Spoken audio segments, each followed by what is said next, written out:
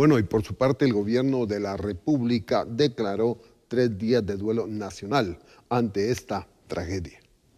Nuestras más sinceras condolencias a los familiares de las víctimas de las 19 niñas que fallecieron en este lamentable hecho, así como también solidarizarnos con las familias y también con las niñas que se encuentran en estos momentos recibiendo atención médica en los hospitales nacionales.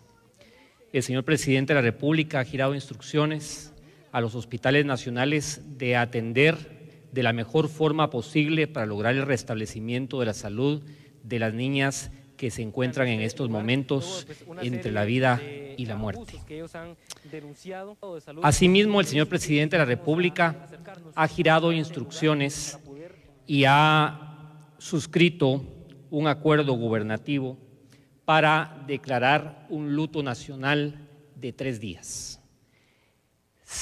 con este acuerdo gubernativo se instruye a todas las entidades de gobierno a suspender cualquier actividad pública protocolaria que esté establecida para estos tres días.